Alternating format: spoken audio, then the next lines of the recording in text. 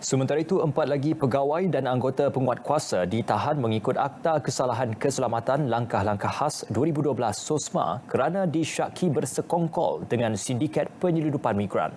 Tangkapan yang melibatkan tiga pegawai imigresen dan seorang anggota pasukan polis marin PPM berusia 30 hingga 48 tahun hasil operasi berterusan polis Johor.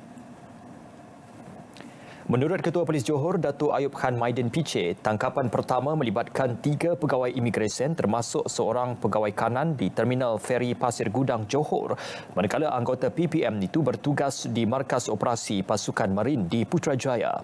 Penahanan dibuat hasil soal siasat ke atas 12 migran yang ditahan antara 15 hingga 21 Jun lalu. Perandi yang digunakan oleh suspek-suspek ini dalam menyediakan menyediakan cop keluar masuk immigration Malaysia yang disyaki palsu bagi menguruskan penyeludupan warga Indonesia dan tamat tempoh pas lawatan sosial sebelum perintah kawalan pergerakan.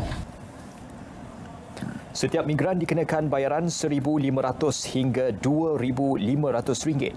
Kes disiasat mengikut Akta Anti Pemerdagangan Orang dan Migran serta Kanun Keseksaan.